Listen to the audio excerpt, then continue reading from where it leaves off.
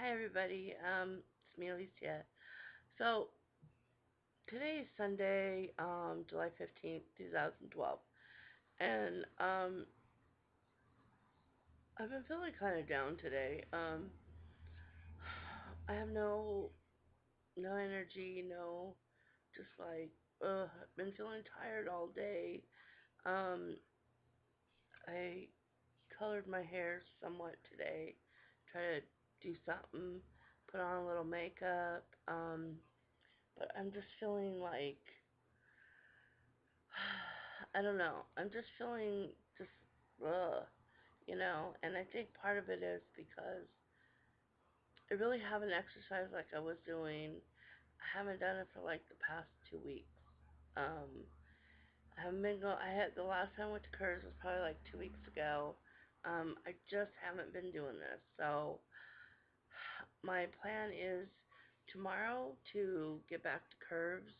Um, I need to get my butt back in gear, and you know the stuff with the food is going really good, but I need to incorporate the exercise because it's just not okay for me not to exercise. Um, you know I've done so well with getting my um, A1C numbers down and I don't want to sabotage that. Um, and I know some days it's really hard for me to get motivated, but I just need to do it, and I know I need to do it. So that is my plan. I'm going to be weighing in tomorrow, and whatever it says on the scale, then that's what it says. You know, I'm not going to be down about it. I'm not going to beat myself up. It just, it is what it is. So I gotta do this. Um, I gotta get back on track. So that's my plan. Um, the one great thing that I have been so, so, so, so happy about is that the pants that my friend Heidi sent me, well, I fit them. And yeah, they're huge. They're,